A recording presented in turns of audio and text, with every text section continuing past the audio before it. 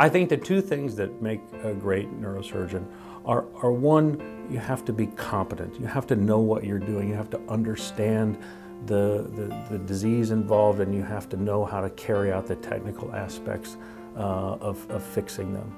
Uh, and the other thing is that you have to care. You have to be invested in every patient. You have to understand their story and, and you have to want to see them um, down the line uh, at some point in their life feeling better, uh, doing better than they are uh, in their initial moments when you meet them.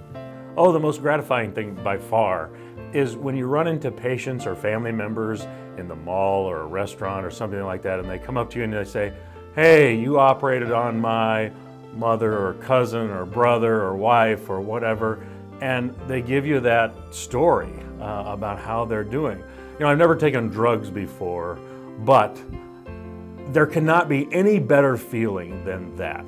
Uh, I mean, that high in that moment when, uh, when, when, people say that, I think nothing ever will, will ever replace that.